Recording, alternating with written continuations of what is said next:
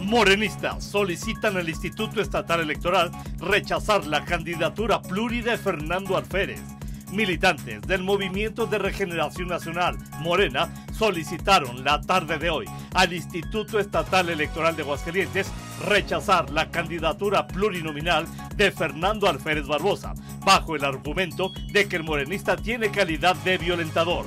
La denuncia expone que Fernando Alférez, en su calidad de secretario de organización de Morena, cuenta con una sentencia que acredita la violencia política contra la mujer en razón de género, cometida contra Natsiele Teresita Rodríguez Calzada, quien fuera candidata al gobierno del estado.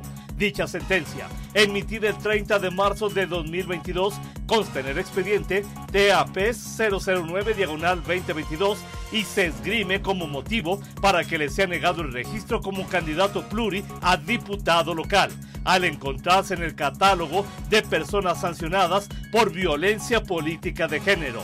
Y esta es solamente la primera demanda que morenistas presentarán en este sentido.